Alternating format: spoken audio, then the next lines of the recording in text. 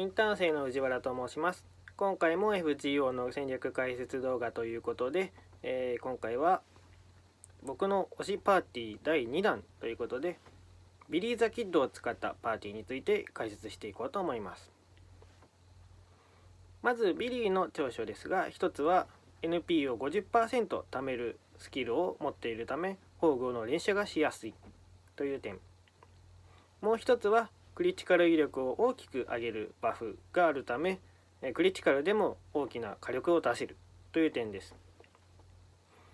欠点としては、えー、バフの効果、えー、継続時間が一旦しかないためバフを使い切った後は息切れしてしまうという点、えー、もう一つはスター集中スキルを持っていないため、えー、概念礼装などで補強してあげないと他のサーバントに星を吸われてクリティカル率が下がってしまうという点。3つ目に、えー、自分ではほとんどスターを出せないという点があります。以上のことを踏まえてビリーを生かすためのパーティーについて考えていきましょう。まずパーティーメンバーの2人目としておなじみのスカサハスカディを入れます。NP50% スキルを持っているので、えー、宝具を2連射することもできますし強力なクイックバフで宝具の威力もクリティカルの威力も上げてくれます。ここで、えー、3人目をどのサーバントにしたらいいか考えていきましょう。私の考える3人目のサーバントに必要な要素として1つがアーツ枚数が多くてアーツチェーンがしやすい。2つ目にスター獲得スキルを持っている。そして3つ目に、えー、スター集中のスキルを持っていて、えー、バフを使い切ったビリーの代わりに、えー、交代でアタッカーをしてくれる。というサーバントが僕の考える理想のサーバントです。なので私は、えー、水着 BB ちゃんを使っています。水着 BB の他にも例えばランスロットなどもセーバーのランスロットなども使えると思います。それでは、えー、この戦い方について見ていきましょう。パーティーの基本としては、えー、とにかくアーツチェーンを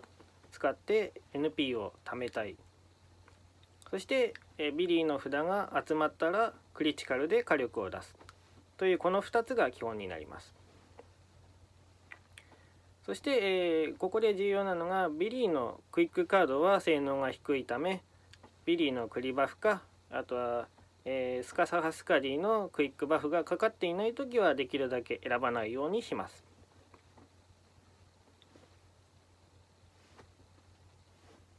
スカディのバフやビリーの、えー、クリバフが乗っている時はビリーが火力を出しそのスキルを使い終わったら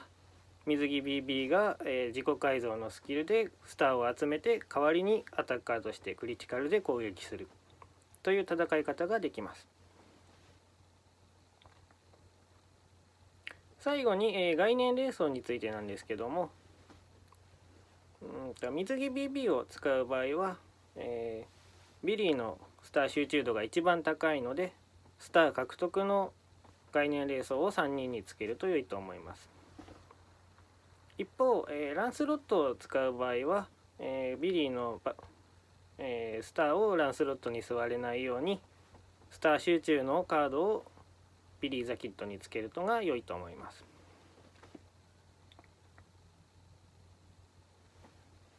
えー、もし BB とか、えー、ランスロットどっちも持っていないという場合は、えー、今回か喋ったパ、えー、解説した戦い方とは変わってきますけども同じ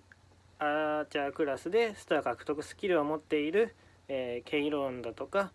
ウィリアム・テルと一緒に使ってあげると良いと思います。